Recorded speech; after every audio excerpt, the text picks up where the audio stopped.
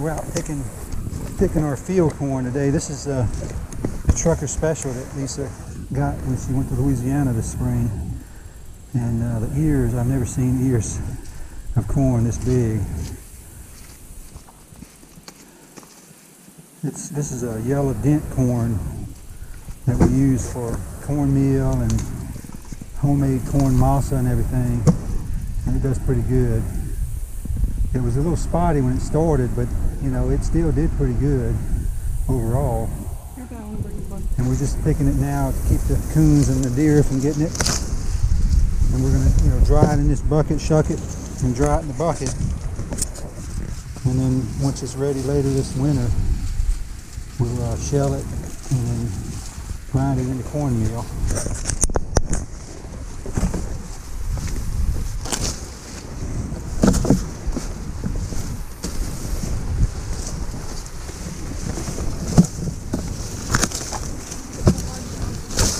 Yeah, it's just tougher like corn, I guess.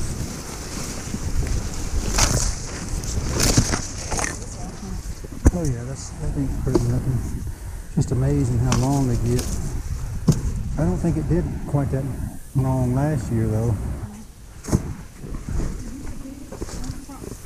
Yeah, I put some of these and then I put these long ones too, you know, I mixed it up.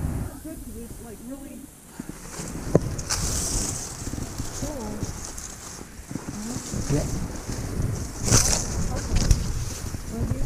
I don't know, it just does it. It's kind of like purple and green is I'm.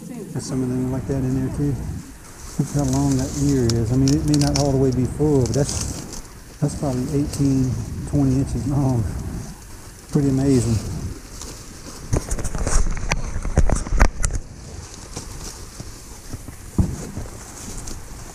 Who made all that? Uh, that's probably coon, I imagine. Because they pull it down and they get it, you know. That's sweet corn there, I think.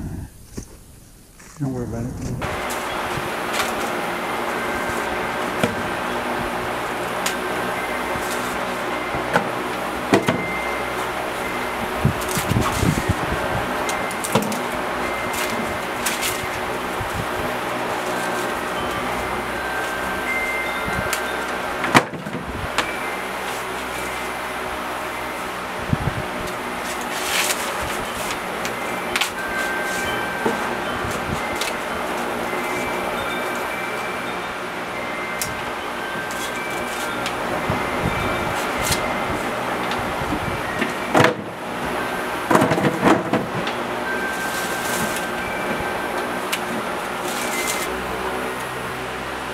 How much uh, this bucket holds, but we did a lot better than we did last year uh, by a pretty significant measure. Um, we pretty much filled the bucket to overflowing. Uh, we still got more corn growing, uh, different varieties.